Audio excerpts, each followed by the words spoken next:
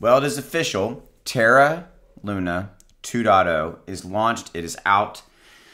You can buy it. You can get it if you so desire. All right, so block one of the brand new Terra blockchain with a chain ID of quote Phoenix 1 has officially been produced at 6 a.m. UTC on May 28, 2022. Congratulations to the Lunatic community uh, on this major feat, expeditious, that's a good word, Feat of collaboration. Okay, so those are, and here you go, number two, right here where my mouse is. I don't want to click on it because it'll it'll take me to the net that, and then we, we want because we want to read through these. Those who are eligible for Luna airdrop can now view their wallet balances on the new chain by selecting the Phoenix One Net, One network on their Terra Station browser extension. Users can do multiple things with their Liquid Luna, including staking it on Terra Station to their preferred validators to earn rewards and participate in government's decisions using on DApps upon launch or trading on exchange. Note, since, two, uh, since 2.0 is a new chain and not a fork, dApps from Terra Classic will need to relaunch on the new chain. Keep an eye out for announcements from your favorite dApps. For the portion of Luna airdrop that has been staked and is vesting, visit the Terra Station desktop app. Ensure you've selected Phoenix 1 as your network. Click on the stake tab to view your stake balance which validators do you stake to. Okay, for staking, etc.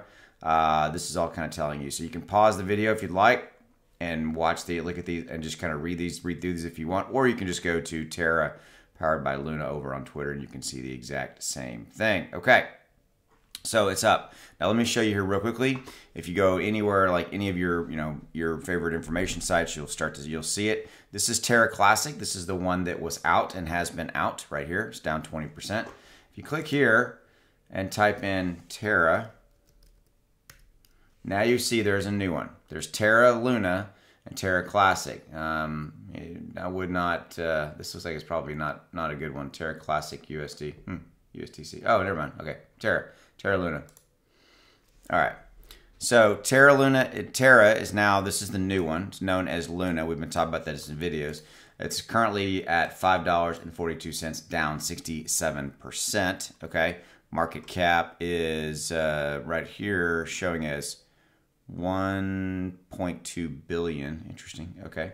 Um, and look at the one day chart. Obviously, as long as a one day chart came out, immediately dropped to uh, no, so it came out as a price of 17, uh, immediately dropped to 13, came back, spiked all the way up to 19 rolled for just a little bit, and then uh, had a pretty significant drop. You know, north of uh, four or five bucks coming off, and then now it's declining just a little bit. Obviously, extremely volatile coming in. So losing, um, you know, losing about eleven to twelve dollars, if you will, give or take, in from when it uh, launched. Okay, so again, extremely volatile. We'll have to see how that kind of flows from there. Okay, so that's what I've got for you. Terra Luna 2.0 has launched. It is out. There's how you can find it over on CoinMarketCap.